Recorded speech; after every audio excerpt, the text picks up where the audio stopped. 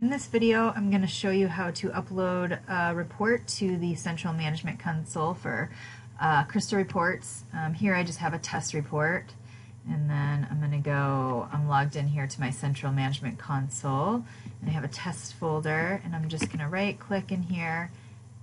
add a local document,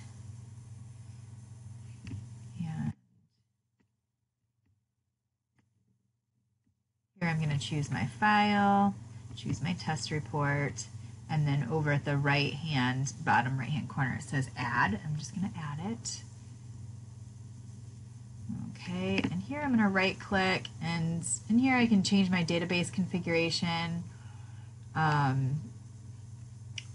which automatically uploads with your report if you want to use the same one, but you can change it there and then um, and then you can click on schedule and you can see there are all these options to schedule your report. How much you want it uh, when do you want it, when you want it to recur um, when you want it scheduled for the database login that you need the filters Okay, and then if I go up to my BA, BI Launchpad, you can see that um, if I click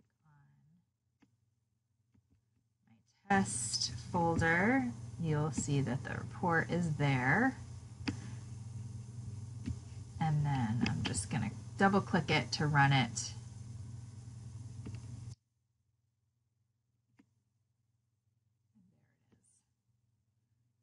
everybody can access.